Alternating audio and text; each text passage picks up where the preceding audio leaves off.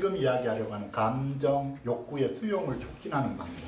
그래서 결론은 자기 개방과 경청 이것이 수용을 촉진하는 방법입니다 하는 건데 먼저 메뉴에서 나왔지만 경청은 자기 개방, 자기 개방이라고도 하고 자기 노출이라고도 표현하고 자기 공개라고도 표현하는데 경청해 주는 것은 이 자기 개방을 촉진합니다 하는 것이고 또한 경청은 마찬가지로 수용을 촉진합니다 하는 건데요. 제가 우선 이제 요 경청과 자기 개방의 관계를 가지고 이제 이야기를 하자면 잘 들어준다는 것은 뭐가 잘 들어주는 거냐? 잘 들어준다는 것은 반드시 비판단적이어야 된다는 거예요. 가타부타 없이 듣는 게 잘 들어주는 겁니다. 하는 거예요. 자, 들어준다 이야기 우리 상당수 부모님이나 사회에서 그래요. 자, 네 뭐든지 네 하고 싶은 대로 이야기하면 바라면 들어볼게. 해놓고는 판단적인 걸 안 내려놓고 들어볼게. 그럼 듣는 척만 하는 것이 실제로는 들어주는 게 아니에요. 듣고, 들으면서 내가 안에서 있는 그대로 듣는 게 아니라 들으면서 내가 계속 채점하면서 듣거든요. 아이고 저런 말하는 거 보니까 아직도 야는 아직도 세월이 많이 필요하구나. 뭐 이런 식으로 내 나름대로 뭐 저거는 생각이 옳은 생각이다 그런 생각이다 저거는 이렇다 저렇다 자는 아직 이런 데 막혀있나 하고 계속 이 판단을 하면서 들으면 안 된다는 거예요. 더더욱 더더욱이 다 듣고 나서 내가 뭐라고 내가 한마디를 해줘야 될 텐데 이러고 들으면 절대 안 된다는 거예요. 답을 가지고 있으면 절 뭔가 답을 내가 알려줘야 된다고 생각하면 절대 안 됩니다. 그래서 해결해 주시려고 하면 안 됩니다 하는 거예요. 해결해 주려는 마음으로 듣는 건 듣는 게 아니에요. 우리 흔히 친구 사이에 상담을 안 배우고 친구 사이에 친구가 고민이 있다 하면은 그래 네 무슨 말인지 해봐라 내가 한번 들어볼게 하고 들으면서 어떤 생각을 하느냐면 이야기 다 듣고 나면 내가 어떻게 하라고 내가 조언을 해줘야 될 것처럼 생각하면서 내가 뭐라고 조언을 해주지? 이러고 듣는 수가 있거든요. 조언을 해주려고 마음 먹 마음 먹는 순간에 듣는 게 제대로 안 들려요. 듣는다는 건 그런 게 아니라는 거예요. 그 다음에 또 기껏 듣고 나서 다 듣고 나서 내가 조언을 해주면 이야기했는 사람 입장에서는 괜히 말했다 싶어요. 내가 기껏 말해 놔 놓고는 내가 이 말을 듣자고 내가 이 말했나 쪽팔리게 모욕을 당한 느낌이 들어요. 조언을 들으면 내 속에 있는 이야기를 꺼냈다가 왜냐하면 그 조언이라고 하는 게 사실은 내가 모르는 조언은 없어요. 사실은 내가 우리가 뭐 내가 진짜 뭐 대단한 이미 말하는 본인도 뭐가 옳은지 그런지는 다 알고 있어요. 그걸 몰라서 나한테 말하는 게 아니에요. 그러니까 그런 건 그래서 조언이라고 하는 건 사실은 소용이 없고 뭐가 옳은지 그런지 다 알고 있지만 그럼에도 불구하고 본인 속이 갑갑하고 이 말을 할 데가 없으니 말하고 싶다는 거지. 그러니까 말을 할 때는 그냥 자유롭게 말할 수 있게끔 허용해주고 말하는 가운데에서 스스로가 자기 생각을 정리할 수 있게끔 해주고 나는 듣는 역할을만 해주면 돼요. 그게 잘 듣는 거예요. 잘 듣는다라고 하는 것은. 해결해 주는 게, 내지는 해결책을 일러주는 게, 그 방법은 잘 듣는 방법이 아닙니다. 하는 거예요. 그래서, 어, 듣는다는 거는, 어, 그래, 잘 들을, 잘 들으면, 어, 듣는다는 거는 있는 그대로, 뭐든지 말하면 내가 내가 어, 생각이 없어야 되거든요. 가능하면 어, 들을 때 그냥 그러니까 이제 들으려고 하게 되면은 기본적으로는 내가 마음이 편안해야 돼요. 내, 내 마음이 편안할 때 내가 남의 이야기가 귀에 들어오지.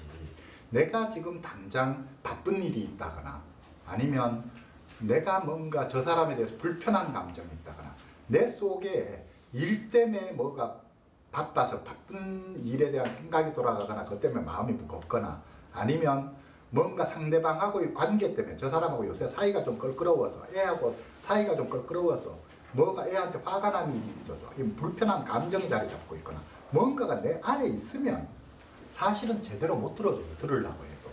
그래서 뭔가 이야기를 들으려고 하면 내 안에가 비어 있어야 되고 가벼워야 돼요. 아무 전제가 없어야 되고 이럴 때 우리는 들을 수 있거든요. 그래서 말해봐라 라고 하면 들으면서는 철저하게 그 말에 말을 있는 그대로 자꾸 따라가야 돼요. 음, 그래서 처음에 듣는 연습이 잘 안 돼 있을 때는 어떻게 해야 되느냐면 상대가 했는 말을 내가 음미하는 방법으로 들으면 그나마 들을 수 있어요. 우리가 아, 나 저 요즘 속 많이 속상해요. 하면 아, 많이 속상해요. 이렇게 상대방의 말을 요거 처음에 우리가 그 상담 연습할 때 상담자들이 경청하는 게 처음에 훈련이 안 돼 있을 때 경청하는 연습할 때 음미하는 식으로 하거든요. 근데 그래서 잘 듣고 나면은 그 표현이 내가 그대로 우리가 앵무새처럼 내가 그 말을 방금 자 말하고 나 방금 제가 뭐라고 말했어요. 그대로 따라할 수 있으면 잘 들은 거예요. 근데 안, 듣, 안 듣는 사람은 앞에 말만 듣거나 끝에 말만 듣지 전체를 못 들어요. 그러니까 내가 상대가 말하고 나서 제가 방금 뭐라고 말했어요. 그대로 하면 제 있는 말을 그대로 해보세요라고 해서 있는 그대로 쫙 읊어낼 수 있으면 한 문장이 그대로 나온다. 두 문장이 그대로 나온다. 열심히 잘 들은 거예요. 근데 뭐 말할 게 없다. 단어 한두 개밖에 생각 안 난다. 이러면 열심히 안 들은 거예요. 이게 문장이 쫙 잘 들으면 그만큼 있는 그대로 그 표현을 내가 있는 그대로 하기가 수월해요. 그래서 잘 들어야 돼요. 잘 들어야 되는데 특히나 들을 때 우리가 이제 뭐라고 말하냐 하면 그 말을 들으면서 동시에 말이라고 하는 건 하나의 전달 수단이에요. 전달 수단인데 말에 포함된 그 마음이 뭐냐? 잘 듣는 건 그 마음을 듣는 게 잘 듣는 거거든요. 말만 듣는 게 아니라 말을 들으면서 그 말 속에 그 느낌이 좋은 느낌인지 불편한 느낌인지 그 뭔가 아쉬워하는 건지 뭔지 속 마음까지를 듣는 게 그게 진짜 잘 듣는 거죠. 그래서 잘 들으려고 하게 될 때는 상대방의 그런 뭐죠? 얼굴 표정이라든지 말의 떨림이라든지 이런 비언어적인 메시지까지도 우리가 잘 포착을 해야 되죠. 언어적인 메시지만이 아니라 그 다음에 또 사람들이 보면은 중요한 이야기들은 몇 번씩 반복하게 돼 있어요. 우리가 이야기를 듣다 보면 얼마나 고집스러우냐면 자기 말을 내가 끝까지 잘 안 들어주면 하고 싶었던 말을 잘 안 들어주면 그 화제를 다시 꺼내요. 또 다시 꺼내요. 오늘 안 들어주면 내일 다시 꺼내요. 네. 그래서 중요한 말은 몇 번을 반복한다는 말이 뭐냐면 어, 저는 상담 시간에 그런 이야기를 하는데 상담자들도 자 내담자가 상담을 받는 사람이 내담자가 같은 단어를 두 번째 알아차려야 된다는 거예요. 아, 앞에도 저 말했었는데 예를 들어 돈이라는 말을 두 번째 나온다. 또는 뭐 어떤 자기가 뭐 출세라는 말이 두 번째 나왔다. 아니면 자기의 정오라는 말이 나왔다. 어떤 거든 단어의 표현이 두 번째 나오면 알아차려야 돼요. 두 번째 못 알아차렸으면 세 번째라도 알아차려야 돼요.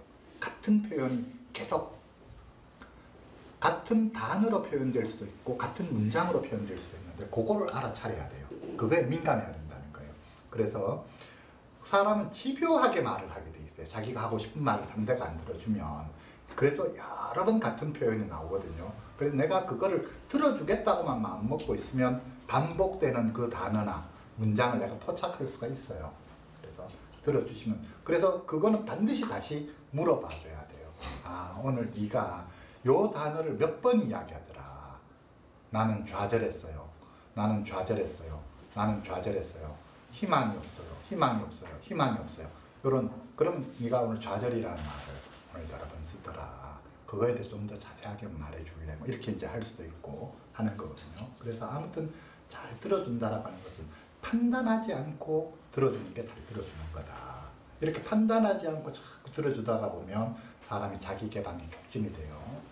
더더욱 좋기는 판단하지 않고 들으면서 자꾸 그 사람의 감정을 물어봐 주는 거, 욕구를 물어봐 주는 거, 이러면 이제 자기 개방이 촉진이 되죠. 그래서 이렇게 경청을 하게 되는데, 경청을 하게 되면 내 안에는 어떤, 듣는 사람 입장에서는 어떤 변화가 일어나느냐. 우리가. 자, 경청을 하게 되면 상대방 입장에서는 자기 개방을 하게 되면은 상대방 입장에서는 어떤 일이 일어나느냐. 자기가 자기 걸 자꾸 꺼내놓잖아요. 꺼내놓으면 이 자기 개방을 하는 가운데 자기 탐색이 돼요. 우리가 말하는 가운데에서 자기가 자기 마음을 들여다보게 된다는. 내가 내 어떤 속상했던 이야기든 또는 불만스러운 거든 하고 싶었던 거든 두려운 거든 말을 하면 아 그래서 내가 두려웠구나. 아 그래서 내가 속상했구나.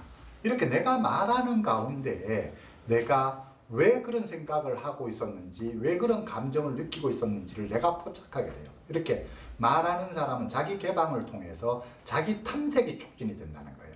자기 탐색을 하게 되고 자기 탐색을 통해서 자기 이해를 하게 되고 이렇게 자기 이해가 되게 되면 결국은 수용에 이르게 되고 결국은 우리가 수용이라고 하는 게 무척 중요합니다 이야기했잖아요. 수용이 되고 나면 그 다음부터는 자동 궤도에 들어가는 거예요. 수용이 안 되기 때문에 모든 게 어려워요. 본인도 재활을 하는 과정에서도 수용이 안 되기 때문에 수용이 안 된 채로 억지로 뭔가를 하려고 하기 때문에 힘은 힘대로 들고 성과가 잘 안 나는 거죠. 그런데 수용이 다 된 상태에서 그 다음에 뭔가를 하려고 하면 진짜로 하고 싶어서 하려고 하는 거예요. 그리고 실제로 에너지가 안에서 또 올라오고 그렇기 때문에 그 다음부터는 자동으로 가지는 거예요. 이제 억지로 애를 쓰는 게 아니라 그래서 이 수용이라고 하는 게 무척 중요합니다는 거예요. 그런데 이 경청이라고 하는 것은 결국 자기 개방, 자기 노출을 하도록 하면서 그것을 통해서 그의 수용을 촉진시켜 주는 거죠. 자기 개방, 자기 노출을 함으로써 결국 자기가 말하는 가운데 자기 탐색을 하게 되고 자기 이해를 하게 되고 그래서 자신의 모습을 있는 그대로 받아들이는 게 수월해지고 이렇게 되는 것이고 또 경청을 하는 나한테는 어떤 일이 일어나느냐 나도 역시 상대방에 대한 수용이 되는 거예요. 어떻게 경청을 하게 되면 그 다음 이해가 되는 거예요. 이때까지 납득되지 않았고 이해가 되지 않았는데 왜 화를 냈었는지 아무것도 아닌 말이 왜 화를 냈는지 이해가 안 됐는데 그래 네 왜 화를 냈는지 한번 말해봐라. 하고 가만히 들어봤더니 아 그랬구나. 나는 미처 짐작을 못했는데 그랬다면 네가 그게 그렇게 받아들여졌다면 화날만 했네. 이렇게 되는 게 이게 이해예요. 그 전에까지. 우리가 이해가 안 되면 이해가 안 되면 우리가 흔히 상대방을 탓하게 돼 있어요. 이해가 안 된 상태에서는 애가 나한테 화를 낸다. 이해가 안 되면 애가 버릇이 없다. 애가 저게 증상이 지금 나빠졌다. 애가 뭐가 어떻다. 이렇게 되는 거예요. 이해가 안 되면. 근데 이해가 되면 아 그럴 수밖에 없었구나. 아 그렇다면 내가 다음에 뭘 어떻게 해야 될지가 이제 궁리가 되는 거죠. 이렇게 되는 거예요. 그래서 이 이해라고 하는 게 사실은 이 분수령이 자기 자신에 대해서도 그렇고 타인에 대해서도 그렇고 이게 매우 이해가 되느냐 이해가 되지 않느냐 하는 게 이게 갈림길이에요. 이해가 되면 그때부터 시작해서는 제가 선순환 악순환 이야기를 하지만 이해가 되면 그때부터 시작해서 선순환으로 가는 거예요. 이해가 안 되면 악순환의 바퀴가 계속 도는 거예요. 이게 이해라고 하는 게 길을 갈라지게 만듭니다 하는 거예요. 우리가 지금 조현병 당사자들이 겪고 있는 어려움이 그거거든요. 우리가 조현병이나 정신병이나에 대해서 이렇게 표현하잖아요. 저 완전 또라이다. 도저히 이해가 안 된다. 도저히 납득이 안 된다. 도저히 조금 그렇잖아요. 우리가 그 우리가 단지 전 진짜 정신병이어서 정신병이 아니라 우리가 일상생활에서 대인관계도 친구 간이든 직장 생활이든 집에 부부 관계든 이해가 안 될 때 우리 입에서 나오는 말이 그거잖아요. 도대체 이해가 안 된다. 도대체 왜 저렇게 말하는지 왜 저렇게 행동하는지 난 저 사람을 도대체 이해할 수가 없다. 저 완전 또라이다. 저 돌았다. 돌았다 하잖아요. 저 완전 돌았다. 저 미쳤다. 돌았다. 미쳤다. 또라이다. 어? 저거 완전히 저 이해가 안 된다 저거. 이해가 안 된다라고 하는 이 지점이 무지무지하게 중요한 지점이라는 거예요. 이해가 안 되면 상대방에 대해서 다른 공감도 없고 연민도 없고 아무것도 없어요. 이해가 안 되면 무조건 도대체 나로서는 어떻게 해야 될지도 모르겠고 이해가 안 되는 사람하고 같이 생활하는 거는 도대체 이거 뭐 무지해야 되는지도 모르겠고 결국은 이해가 안 되는 사람, 이해가 안 되는 상황이 자꾸 벌어지면 내가 그 상황을 떠나든지 아니면 저를 어떻게 바꾸든지 뭐 해야 되는 거죠. 이해가 안 되면. 우리 그런 게 이해가 안 되는 거라고 하는 거예요. 그래서 이해가 안 되는 게 이해가 되는 순간에는 그때부터 모든 게 달라집니다. 이해가 안 되면 계속해서 악순환이 돌아가는 거예요. 나 상대방하고 직장에서 동료가 있는데 계속 이해가 안 되는 행동을 한다. 계속 이해가 안 된다. 그럼 둘이 계속 부닥치는 거예요. 아니면 내가 시비를 안 걸어도 내 안이 계속 불편한 거예요. 마찬가지죠. 똑같이 집안에서 자제분들하고 같이 생활하는데 조현병을 앓는 자제분이 계속 어떤 행동을 하는데 부모님 입장에 이해가 안 된다. 왜 저러는지 이해가 안 된다. 왜, 왜 저렇게 생활하는지 이해가 안 된다. 왜 저렇게 말하는지 이해가 안 된다. 이해가 안 되면 내 속만 타잖아요. 계속 화만 나고 불편하고. 자, 이해가 안 될 때는 어떻게 해야 되느냐? 이해가 안 될 때에 우리는 흔히 어떤 전략을 취하느냐? 아, 이해를 좀 해야 되겠다. 내가 도대체 왜 무슨 상황이를 좀 내가 좀 모르는 걸 내가 좀 알아야 되겠다. 이렇게 해서 이해를 하려고 들어가는 쪽으로 가면 좋은데 이해를 하려고 하는 쪽으로 가는 게 아니라 이해가 안 된다. 이해가 안 되니까 내가 이해가 안 되니까 네가 잘못된 거다라고 단정을 해버리는 거예요. 네가 내가 이해가 되고 납득이 되는 방식으로 행동해라. 내가 이해가 되고 납득이 되는 방식으로 말을 해라. 이렇게 되는 거예요. 네, 네 잘못됐다. 네 그래서는 안 돼. 그러니까 네 바꿔. 이렇게 된다는 게 우리가 집안에서 부모 자식 간에도 또 직장에서 동료 간에도 도저히 난 당신 같은 사람은 이해를 할 수가 없다. 당신 뭐가 문제가 심각하다. 당신 뭐 좀 바꿔야 안 되겠나? 이렇게 된다는 거예요. 우리가 이해가 안 되는 상황에 처했을 때 우리 보통 사람들이 저 대응하는 방법이 그렇다는 거예요. 내가 이해를 하려는 저 분명히 이해를 한다는 건 이런 거죠. 저 사람이 저렇게 행동할 때 분명히 무슨 이유가 있을 텐데 그게 도대체 뭘까?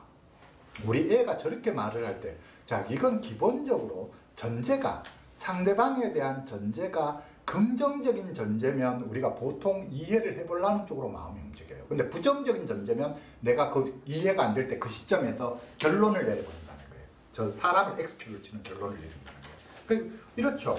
직장에서, 동료 관계에서 평상시에 내가 잘 믿음이 갖고 나하고 잘 지내던 동료가 도저히 납득이 안 되고 이해를 안 되는 행동을 해요. 그러면 우리는 그렇게 생각을 하거든요. 아, 저 사람은 사람이 괜찮은 사람인데, 원래 성실한 사람인데, 원래 상당히, 근데 저 사람이 그 직장에 결근도 안 하고 자기 맡은 일 펑크도 안 내던 사람이 계속 결근을 한다. 자기 맡은 일에 펑크를 내서 그 내가 대신해 줘야 되는 상황.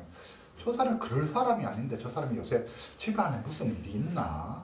그럴 사람이 아닌데 자꾸 결근을 하고 자꾸 일에 펑크를 낸다는 건 저 사람 요새 뭐가 어려운 상황에 있나? 좀 뭐지? 우리가 그 사람을 기본적으로 내가 전제를 좋은 전제를 가지고 있던 사람에 대해서는 이해를 안 되는 행동을 하면 우리가 무슨 사정이 있을 텐데 이렇게 뭔가 이유가 있을 텐데 이렇게 되는 거죠. 그래서 이해를 해보려고 하는 여지를 우리가 갖고 들어가는 거죠. 그런데 내가 평소에 안 좋게 생각하던 사람이 그래서 저 사람 인간성도 저건 뭐 저, 저런 사람은 우리 직장에 뭐 피해 피해만 주고 갔다가 저 별로 빨리 나갔으면 좋겠다 이러던 사람이 자꾸 결근을 하는데 일에 펑크는 내가 알았다 책임감 사람이 책임감이 없네 이런 식으로 이제 내가 결론을 내버린다는 거예요. 그래서 그래서 이런 맥락이 부모 자제분, 부모님들이 자제분에 대해서 똑같이 작동한다는 거예요. 우리 애가 조현병 증상을 보이고 조현병 때문에 아무것도 안 하고 방에 틀어박혀 있고 할 텐데 할때 내가 애에 대해서 긍정적인 시각, 좋은 시각을 가지고 우리 애는 지금 병이 찾아와서 잠시 자기가 좌절해서 저렇게 방에 들어박혀 있지 쟤는 쭉 내가 지켜봤던 우리 애는 이러이런 좋은 점이 있기 때문에 세월을 기다리면 분명히 다시 일어난다. 자기는 분명히 저 행동은 일시적으로 부모한테 화를 내고 욕을 하고 덤벼든다. 우리 지가 많이 무슨 사정이 있으니까 저기 화를 내고 욕을 하고 덤벼드는 거지. 쟤는 그럴 애가 아니다. 이러면 내가 이걸 기다리고 이해를 하는 쪽으로 가볼 수가 있는데 내가 우리 애에 대해서 아주 안 좋은 생각을 가지게 됐다. 애가 형편없네. 저건 저 인간구실을 못한다. 이렇게 애에 대해서 낙담하고 이러면 애가 이해가 안, 이해를 안 되는 행동을 하게 되면 내가 더 애를 안 좋은 시각으로 해서 결국 안 되는 거네. 이렇게 이제 들어볼 생각 자체를 그렇게 된다는 거예요. 그래서 이게 이해라고 하는 이 지점이 무지무지하게 중요합니다 하는 거예요. 그래서 중요한 것은 이해를 해보려고 하는 시도, 이해를 해보려고 하는 노력을 하셔야 거예요. 그러니까 이해가 안 되고 납득이 안 될 때는 반드시 물어봐야죠. 이런 거예요. 화를 내고 덤벼들든 아니면 평소에 잘 일어나던 애가 하루 종일 안 일어나고 누워있던 어떤 행동을 보이든지 간에 그것이 에, 그런 행동을 할 때는 본인 안에서는 반드시 이유가 있다는 거예요. 자기가 제일, 자기가 왜 하루 잠만 자는지, 왜 한 달 내내 잠만 자는지, 제일 잘하는 사람은 본인 자신이에요. 부모한테 자기가 왜 욕을 하고 덤벼들고 왜 컵을 집어 던지고 했는지 제일 잘하는 건 본인 자신이에요. 항상 가장 잘하는 건 본인 자신이에요. 그래서 우리가 이해를 하려고 하게 되면 항상 제일 중요한 게 본인에게 물어봐 주는 작업. 이게 가장 필요한 거예요. 도저히 이해가 안 된다. 어? 부모한테 갔다가 오만 욕을 다 하고 어? 물건 집어 던지고 오만 저 행패를 부리는 게 도저히 이해가 안 된다. 그러면 다음에 물어봐야죠. 왜 그렇게 욕을 하고 컵을 집어 던지고 그랬느냐. 자, 이 물어볼 때 벌써 알아요. 나무랄 태세를 가지고 물어보는지. 우리가 흔히 보면 그렇거든요. 니왜 그렇게 아까 욕을 했는지 니 한번 이야기해봐라.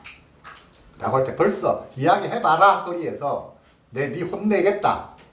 라고 해서 말을 꺼내는 게 있고 그게 진짜로 이유를 모르겠어서 진짜로 난 네가 왜 내한테 욕을 했는지 한번 들어보고 싶다 해서 이야기해봐라 하는 게 있고 이게 뉘앙스가 다르다니까요. 그래서 어떻게 어떤 마음 태세를 가지고 말해봐라 정말로 들으려는 마음을 가지고 말해봐라 해야 된다는 거예요. 혼내려는 마음을 가지고 또는 가르치려는 마음을 가지고 말해봐라. 이래서는 애초에 시작점에 서지를 못하는 거죠. 그래서 한번 들어보실 생각을 해야 된다는 거예요. 어떤 황당한 상황도 어떤 세상에는 사실은 세상에는 모든 일이 다 일어날 수 있어요. 우리 가정에서도 사회 속에서도 또 부모 자식 간에도 사실 있을 수 없는 일이라고 하는 것은 존재하지 않아요. 그런 일은 아, 있, 없으면 좋겠지만 세상에 일어나는 모든 일은 우리 가정 안에서도 일어날 수 있어요. 그러니까 부모 자식 간에 예를 들어 보면 폐륜이다. 어떻게 자식이 부모한테 욕, 오만 쌍욕을 하고 덤벼드느냐. 어떻게 애가 온 집안 물건을 다 때려 부술 수가 있느냐. 나는 어떻게 애가 아버지를 때릴 수 있나, 엄마를 때릴 수 있나. 있을 수 없는 일이다. 그런 일이 안 일어나면 좋죠. 하지만 세상에서 그런 일이 일어나는데 우리 집안이라고 그런 일이 일어나지 말아야 된다는 법은 없다는 거예요. 안타깝긴 하지만 일어날 수도 있는 일이에요. 그래서 자식이 부모한테 욕을 하고 덤벼들었다. 집안 기물을 때려 부쉈다. 심지어는 나아가서 폭력을 행사했다. 들어는 봐야 된다는 거예요. 왜 그랬는지. 물어는 봐야 된다. 납득이 안 되는 행동을 했다. 뭔가를 뭐 돈을 갑자기 돈을 뭐 있는 돈 없는 돈 탁탁해서 뭐 몇백만 원어치를 갖다 쓸데없는 걸 갖다 몇천만 원어치를 갑자기 써버렸다. 물어는 봐야 된다는 거예요. 혼내기 전에. 물어는 봐야 된다는 거예요. 그래서, 자, 그 이해할, 이해해 보려고 하는, 도대체 왜 그랬을까? 이해해 보려고 하는 이 마음가짐을 내는 게 대단히 중요합니다. 도대체 내가 납득이 안 된다. 이해가 안 된다. 할 때는 납득이 안 되는 이 내 마음, 이해가 안 되는 내 마음의 문제니까 한번 이해를 해보자 하고 덤벼들어요. 그때 이해를 하기 위해서 반드시 해야 되는 게 바로 경청이라고 하는 거예요. 들어봐야 된다는 거예요. 안 듣고 이해할 방법은 없어요. 그 속에 들어있는 이야기를 지 입을 통하지 않고 내가 어떻게 알겠느냐고요. 지 입을 통해야지만 알 수 있는 거예요. 그래서 들어보셔야 됩니다. 들어보셔야 되는데 말해봐라 한다고 말이라고 하는 건 되는 게 아니니까 말을 할 수 있는 분위기와 여건을 만들어줘야 되죠. 자, 그러면 이때까지 부모한테 속 마음 요만큼도 이야기 안 하고 살던 놈인데 아니면 발병하고 난 뒤에 부모하고 관계가 틀어져서 부모한테 지속 마음을 이야기 안 하던 놈인데 내가 오늘 좋다. 내가 큰 마음 내서 이제 내가 들어볼게. 니 한번 이야기 해봐라. 입이 안 떨어지죠, 당연히. 안 떨어져요. 안 떨어지면 자, 그 이야기 해봐라, 이야기 해봐라, 이야기 해봐라. 이게 1년 가고 2년 간다고요. 그래 가다가 보면 어떤 순간인가 이야기 해봐라 해서 할 수도 있고 아니면 이야기 해봐라 소리 아닌데 지가 어떤 날은 지 열받은 거에 못 참아서 막 이야기하는 날 지가 입을 뗐을 때 내가 잘 들어줘야 된다는 거예요. 이야기를 내가 하게 하려면은 이 자기 공개 입을 떼게 하려고 하게 되면 입 안 떼는 놈 입을 떼게 하려고 하게 되면은 어쩌다가 말 나올 때 이게 기회다 이렇게 돼야 돼요. 무조건 입만 떼면 기회다. 라고 더 많은 말수가 많아지게 하다못해 욕이 계속 반복돼도 욕이 더 많아지게 해야 돼요. 그러니까 부모한테 욕을 하고 원망을 하고 나오다 욕이, 욕도 입 닫고 있는 것보다 입 닫고 있는 것보다는 욕하는 게 더 좋은 거예요. 부모님들이 흔히 이걸 몰라요. 입꼭 다물고 있으면 부모한테 막 온갖 쌍욕을 하고 덤벼든다. 막 욕하고 원망하고 하면 애가 못해졌다 생각해요. 아니에요. 없는 욕이 없는 욕 없는 불만 없는 원망이 튀어나오는 게 아니라 다 안에 있던 게 나오는 거지. 없던 게 생긴 게 아니라는 걸 아셔야 돼요. 그러니까 입 꽉 다물고 있던 놈이 어떤 순간인가 부모한테 원망을 하고 욕하기 시작하면 아이고 잘 됐다가 되는 거, 돼야 되는 거. 이게 이제 드디어 치료가 되려고 회복이 되려고 안에 고름으로 따지자면 이게 고름이 꽉 차 있던 게 이제 고름이 터져서 밖으로 나오니까 이때 쭉쭉 뽑아줘야죠. 쭉쭉 뽑아줘야죠. 그러니까 얘가 욕을 해도 아유, 네 하고 기왕 네뭐 말한 말한 김에 네 하고 싶은 말 다 해봐라. 네 실컷 이야기 해봐라. 어뭐 뭐, 뭐, 그랬구나. 니는 그런 정도로. 아이고 아빠한테 좀 욕이 다 튀어나올 정도로 네가 그래 네 안에 힘든 게 있었구나. 그리고 쭉쭉쭉쭉 뽑아 욕, 욕을 해도 반갑다 하셔야 된다는 거예요 원망을 해도 반갑다 해야 되고 헛소리를 해도 도대체 알아들을 수 없는 말을 우리 와해 증상 다음 시간에 가면 횡설수설하는 말을 해도 입 밖으로 꺼내면 잘했다 해야 돼요. 안 꺼내는 것보다 그게 좋은 거예요. 그래서 무조건 하고 말을 말만 뗐다 하면은 반겨줘야 된다. 말만 입만 뗐다 하면 반겨줘야 된다. 그게 그래야지만 말을 떼게 되고 그리고 말만 뗐다 하면 잘 들어볼라 해야 되고 그게 경청이에요. 그렇게 하다가 보면 한순간에 이해가 되는 순간에 내가 도저히 납득이 안 되던 일을 이 지점이 이거잖아요. 우리 부모들이 다 그러거든요. 보면 애들이 치료 과정에 보통 좀 지나다가 뭐 어느 순간에 부모한테 원망 안 하던 애들이 원망이 튀어나오는 순간이 있어요. 한번 원망이 튀어나오기 시작하면 그때부터 시작해서 계속해서 이 원망이 이제 가는 수가 있는데 중간에 보면 막 진짜 이제 안에 있던 화가 많이 차 있던 애들은 화가 터져 나오기 시작하면 그때부터 몇 년간 계속 화를 부려요.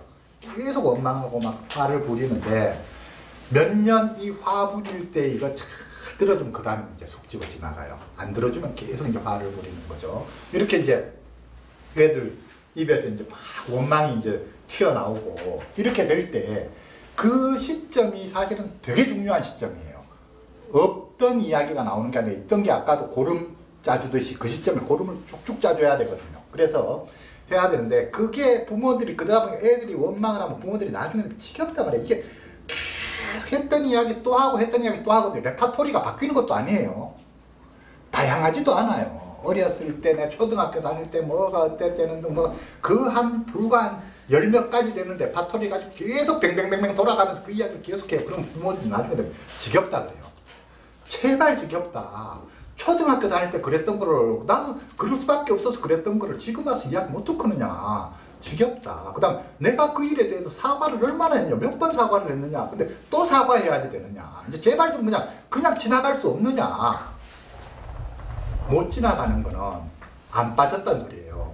고름을 고름이 안, 덜 빠진 거고 못, 못 박힌 걸로 못이 안 빠졌다는 거예요. 이거는 부모가 쉽게 표현하면 부모가 들어주는 척만 했지 안 들었다는 거예요. 이해를 못 했다는 거예요. 자, 애가 자기를 초등학교 다닐 때 뭘 안 사줬다. 그래서 자기가 친구들과 함께해서 뭐가 주고 이것 때문에 막 말을 할 때 내가 이해가 안 된 상태에서 들으면 한숨만 나와요. 속으로. 이야기 듣고 한심하고 그게 그래 속상했나. 그게 그래 했나. 아, 저밖에 안 되나. 이렇게 속으로 내 속이 그렇게 돌아가거든요.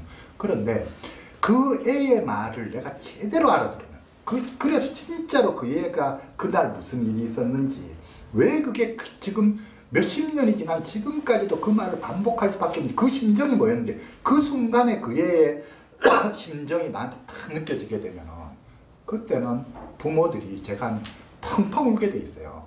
애들이 더 이상 애 보고 그 말을 왜 그, 그것을 그 말, 그 원망을 왜 한, 그 원망을 왜 하는지를 내가 비로소 제대로 딱 알아들은 거예요. 아, 그래서 자기는 그게 그렇게 힘들었구나. 내가 그렇게 힘든 거를 내가 이때까지도 내가 모르고 살아왔었구나. 애의, 그 순간에 애의 마음과 엄마의 마음이 닿는 거죠.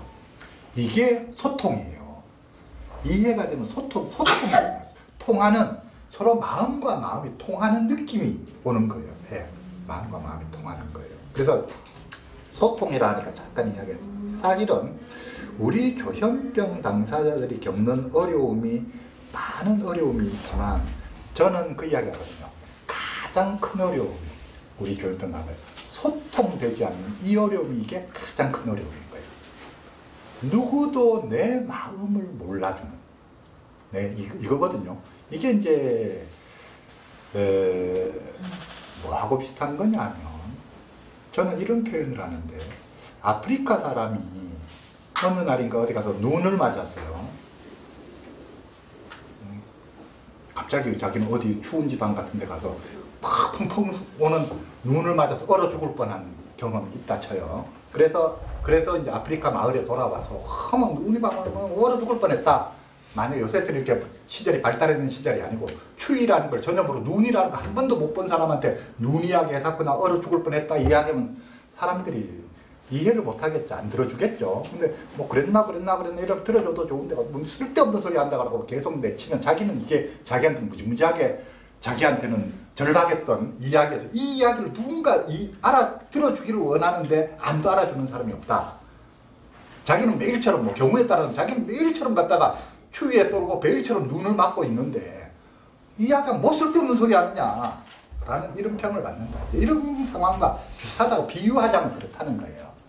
자기 나름대로는 자기 나름대로는 뭔지 모르지만 어떤 두려움, 공포를 경험하고 있고 아니면 어떤 그거에 따라 어떤 좌절감, 뭐 무력감, 뭔지 모르지만 자기는 뭔가 대단히 힘든 일들을 겪고 있는 거예요. 또는 과거에 그런 일을 겪었던 거고 그거에 발목이 잡혀서 생각이 그 시점에서 더 이상 생각이 자라지 않고 마음이 자라지 않고 계속 거기에 머물러 있는 거예요. 생각이 고등학교 다닐 때 시점에 머물러 있고 계속 자기는 그 안에서 뱅뱅 돌고 있는데 부모나 주변 사람들은 그 마음을 모르는 거죠. 이런 거예요. 그래서 이게 그래서 우리 당사자들은 여러 가지 어려움들이 있지만 사실은 내가 정말로 나한테 중요한 이야기를 내 입장에서는 이게 너무너무 중요한 이야기인데 누구도 이 이야기를 진지하게 관심 있게 들어주지 않는 거죠. 나로서는 무지무지하게 중요한 이야기예요. 계속해서 고등학교 다닐 때 이야기를 꺼낸다. 이 이야기가 본인한테 무지무지하게 중요한 이야기이기 때문에 계속 꺼낸다라고 생각하시면 돼요. 그래서 본인이 반복해서 꺼내는 이야기는 중요한 이야기다라고 받아들이셔야 된다는 거예요. 아까 계속 반복해서 나오는 단어는 중요한 겁니다. 그 단어의 뜻을 물어주셔야 됩니다. 왜 그 말을 계속해서 반복해서 나오는 어떤 화제, 주제가 있다. 그 주제가 걔한테 중요한 주제인 거예요. 그러니까 그 주제에 관심을 기울여 주셔야 된다는 거예요. 그 단어에 관심을 기울여 주셔야 되고 그 주제에 관심을 기울여 주셔야 돼요.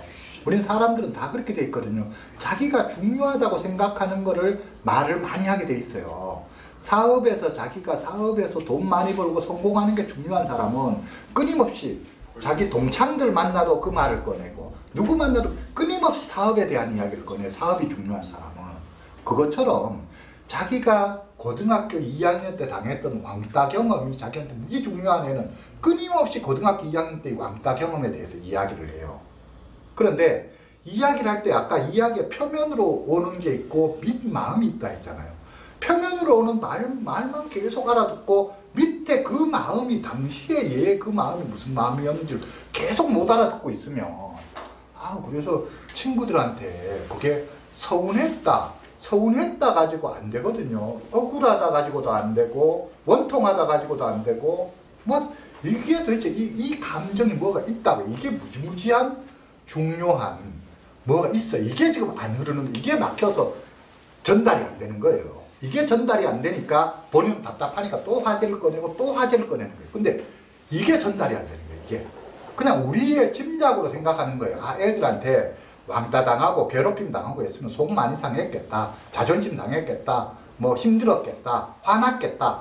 이건 우리의 표현이고 우리의 표현이고 그 마음이 어떤 마음인지 그 마음을 뭐라고 단어로 표현해야 되는지 이거를 찾아내는 작업이 필요하다는 거예요.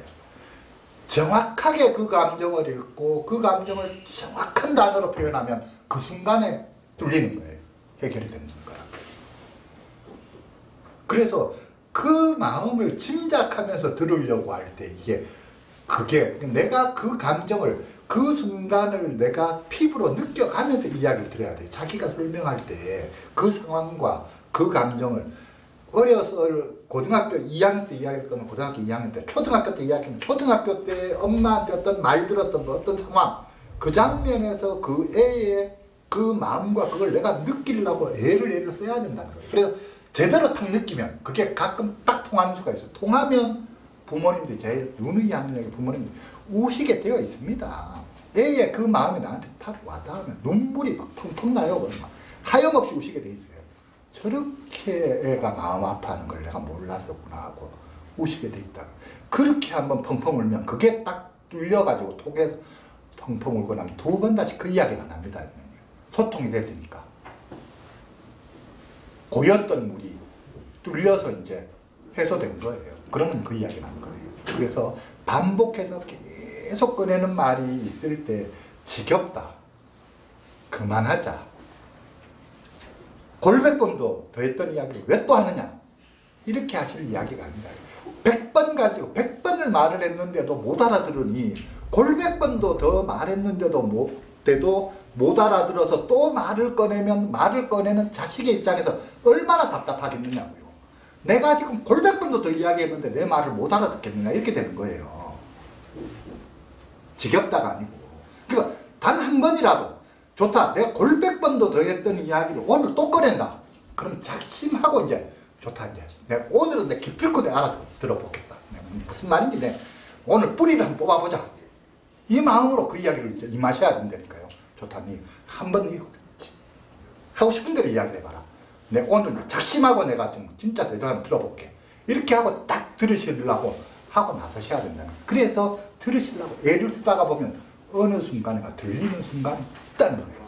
그게 어느 순간인가 들리면 문제가 해결되는 거예요. 그래서 자 아무튼 경청을 하면 내가 경청을 했는 만큼 내가 결국은 이해가 되게 돼 있어요. 아 처음에 전혀 납득이 안 되는데 아 그래서 그랬었구나. 내가 몰랐었네. 그랬으면 그랬을 만 하다. 그랬구나. 정말로 지금 힘들었겠다.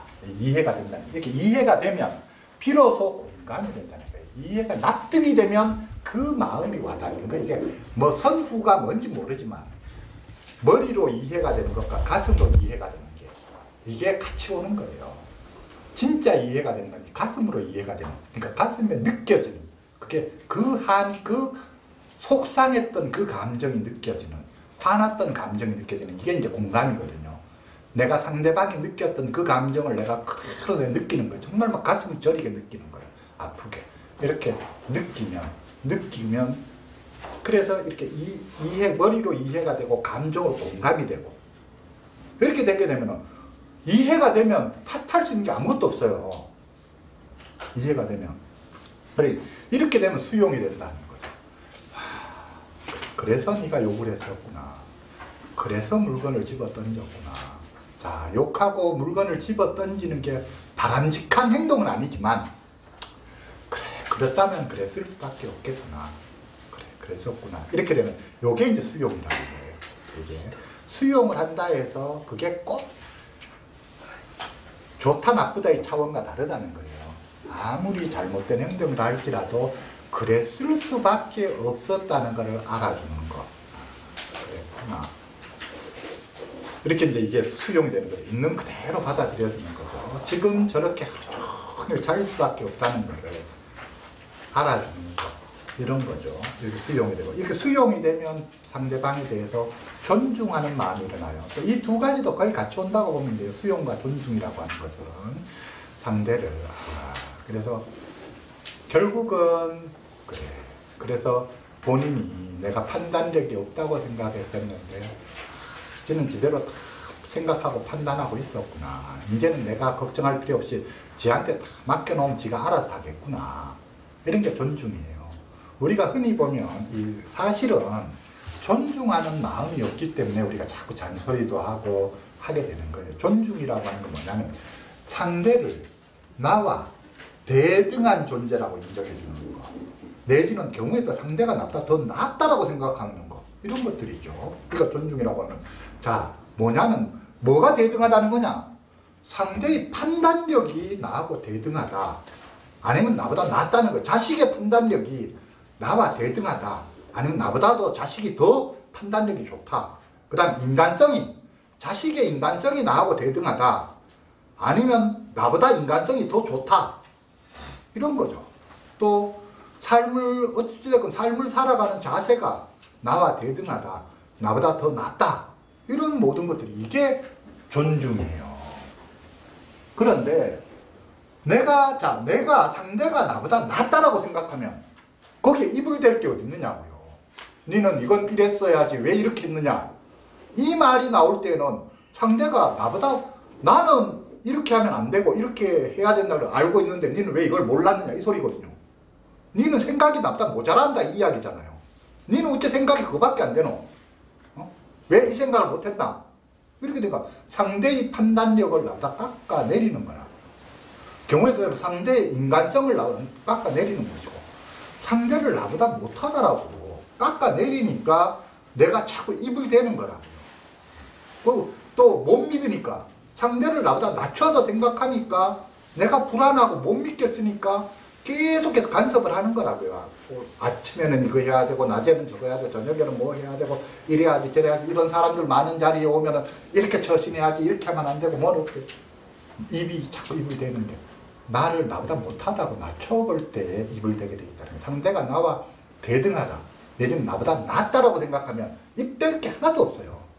설사 내가 납득되지 않는 행동을 상대가 보이더라도 아 무슨 이유가 있겠지? 하고 지켜볼 수 있는 여유가 생긴다. 존중하는 마음이 있으면. 존중하는 마음이 있으면. 그래서 제가 하는 이야기가 우리가 당사자들에 대해서 조현병 당사자들에 대해서 가족들도 그렇고 사회 전반적으로도 저는 이들을 존중하는 마음이 사실은 이게 있으면 되는데 사람을 나보다 못하더라도 겉으로 보이는 모습만 보고 겉으로 좀 횡설수설하고 논리적 잘안 닿는 말을 하고 좀 엉뚱한 행동하고 이런 거를 보고 사람을 너무 저평가한다는 거예요. 마치 고장난 텔레비처럼 고장난 물건인 것처럼 인간적으로 별 쓸모없는 존재인 것처럼 무능한 존재인 것처럼 이렇게 해서 인간 차별에 들어갔다는 거예요.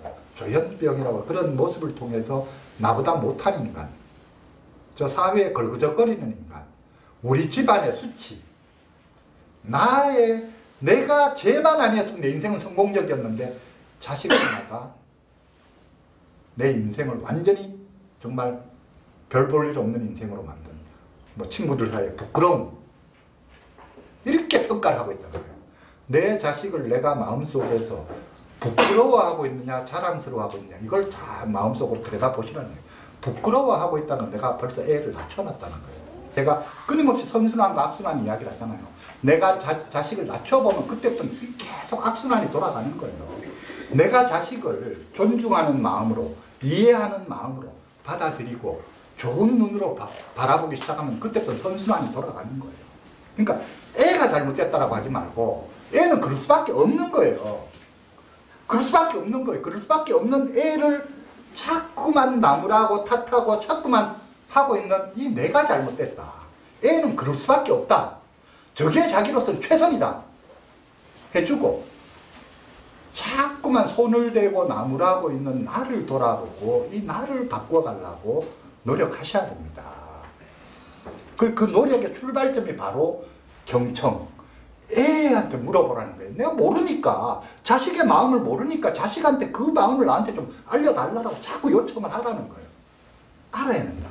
그래서 경청으로부터 시작하고 하셔야 됩니다. 경청을 하시게 되면 이해가 되고 이해가 되면 공감이 되고 공감이 되면 수용이 되고 수용이 되면 존중하는 마음이 생기고 존중하는 마음이 생기면 또다시 경청을 하게 되고 이렇게 해서 선순환으로 돌아갑니다. 이해죠 자, 그래서 이렇게 환청과 망상이 있다라고 할 때는 약 먹는 것만으로 부족합니다. 설사 환청과 망상이 약을 먹어서 없어졌다 하더라도 환청과 망상이 있다면 심리 상담 받으셔야 됩니다. 왜 환청과 망상이 밑바닥에 뭔가 불편한 감정, 해결되지 않은 욕구 좌절 이런 것들의 문제가 있기 때문에 스스로가 결국 문제가 환청이 안 들린다, 망상이 안 들린다가 중, 망상이 없다가 중요한 게 아니고 그런 생각이 안 난다가 중요한 게 아니고 그 환청과 망상을 불러일으켰던 그 민마음, 이 뭔가 감정과 욕구를 찾아내서 해결해야 이게 이제 병의 뿌리를 뽑는 거죠. 이게, 이게 있어서 환청 망상이 생긴 건데, 겉으로만 없애나, 없어졌다 하면 곤란하다는 거예요. 그래서 환청과 망상이 있을 땐 반드시 그 민마음에 뭔가 불편한 게 있어서 환청과 망상이 생겼던 거니까, 그게 얼마나 그게 강했으면 소리로 들리고 눈으로 보였겠느냐. 그게 강력한 신념으로 자리 잡았겠느냐. 내가 만약에 그렇게 되려면 어느 정도나 한이 맺히면 그게 소리로 들리겠느냐. 어느 정도나 한이 맺히면 눈에 보이겠느냐. 이 생각을 해보시라니까요. 그게. 그래서 강력한 뭔가가 있다. 그거 뿌리 뽑아주셔야 됩니다. 거예요. 그래서 뿌리를 뽑아주려고 하면 심리 상담이 절대적으로 도움이 됩니다. 그 이야기고. 그래서 심리 상담을 하게 한다는 건 결국 뭐냐. 자기 노출을 하고 욕구 탐색하고 감사 훈련, 알아차림. 이런 걸 하기 위해서 결국 이렇게 됨으로써 진짜로 자기가 원하는 인생의 그림을 가지고 그런 인생을 살아가게끔 만들어주는 요게 이제 심리 상담이죠. 그래서 심리 상담은 크게 보면 경청해 주는 것또 하나 강점 찾아주는 것. 요런 경청만 가지고는 사실은 좀 부족해요. 끊임없이 우리가 강점을 찾아줄 수 있어야 돼요. 음. 그래서 제가 누누이 하는 게 저희는 우리 심리상담센터는 우리는 단점 고치기 상담 안 합니다. 재은 심리상담센터는 단점 고치기 상담 제발 그만합시다.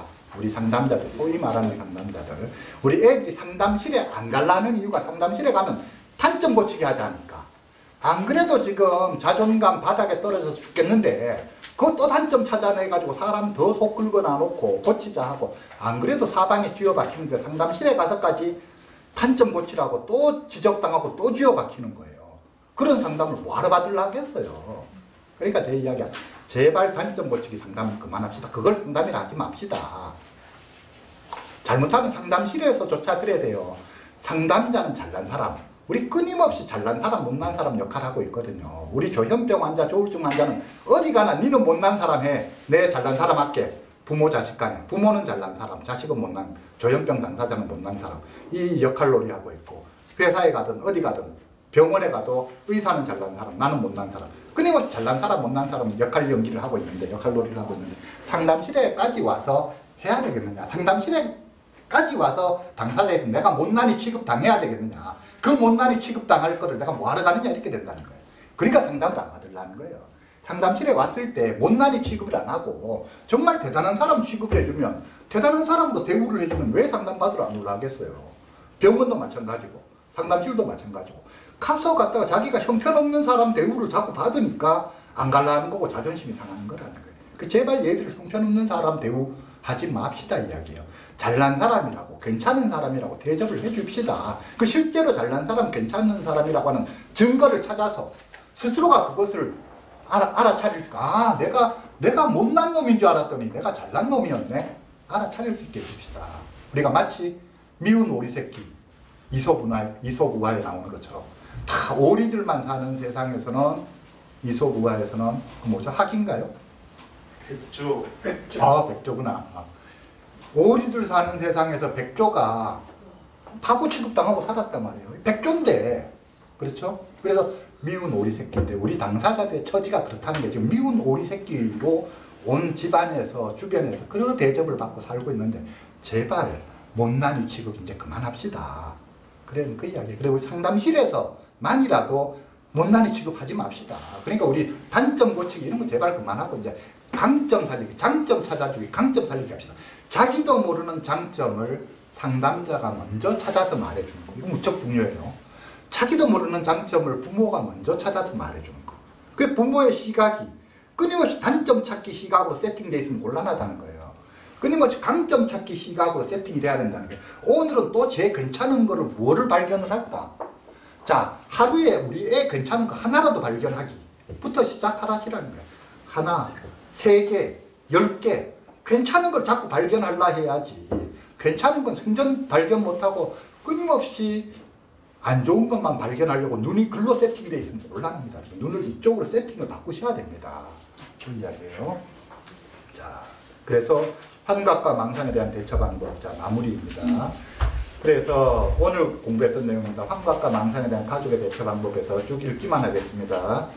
내용이 위험할 때와 위험하지 않을 때 대처법을 달리해야 됩니다. 그 다음에 환청을 악몽처럼 생각하시면 됩니다. 그리고 망상을 드라마, 자기가 즐겨보는 드라마처럼 생각하시면 됩니다. 악몽을 꾸는 거라고 생각하고 드라마에 쉼취해 있다고 생각하고 그렇게 생각하시면 당사자가 말하는 환청, 망상을 우리가 경청해 줄 수 있습니다. 그 이야기고요. 그 다음에 환경 변화가 필요합니다. 특히 가족 환경의 변화가 필요합니다. 그래서 욕구자들과 불편한 감정을 초래하는 환경 자극을 제거해 줘야 한다 하는 이야기예요.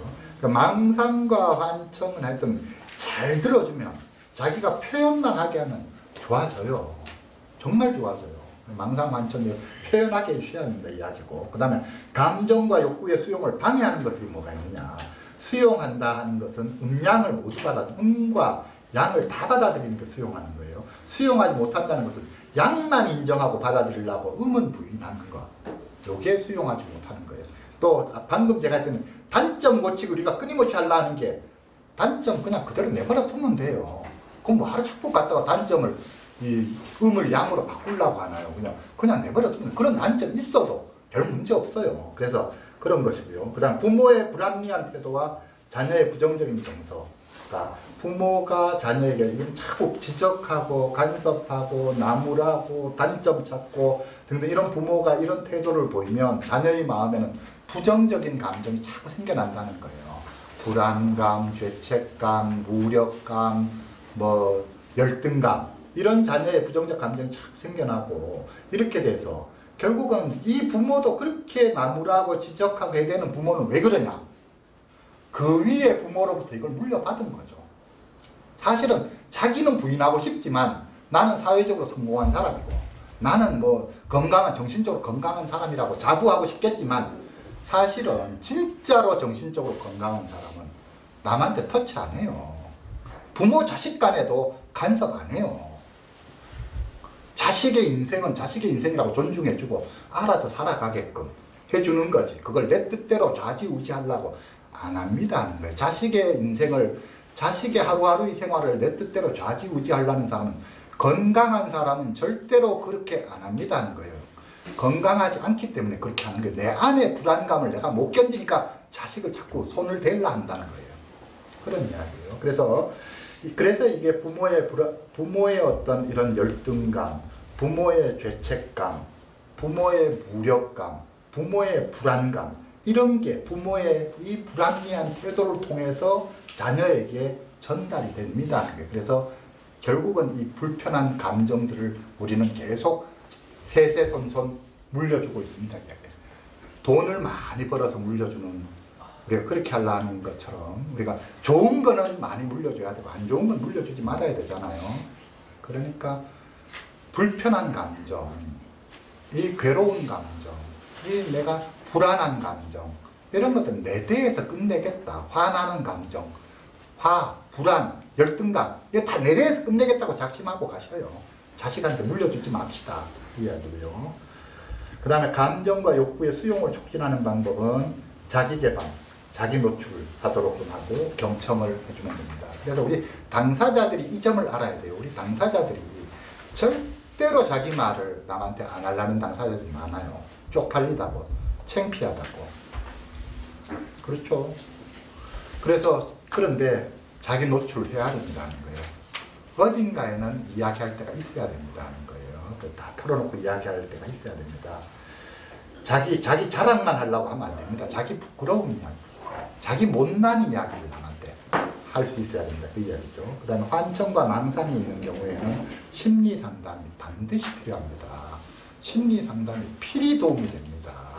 이 이야기를 그래서 이제 오늘은 이렇게 해서 이때까지 지난주와 오늘까지 했던 강의 내용이 환청과 망상에 대해서 우리가 좀 더 이해해보고 그걸 어떻게 대처할 거냐 이야기 환청과 망상에 대한 이야기를 지난주와 이번 주 두 주간에 걸쳐 했고요. 이제 다음 주에 대해서 우리가 와해 증상, 이성 증상 그걸 이야기할 거고 시간 되면 조울 증상까지 다음 주에 이야기할 거고 시간 안 되면 조울 증상은 다음, 주에 할 것이 넘어갈 거고요. 그래 할게요.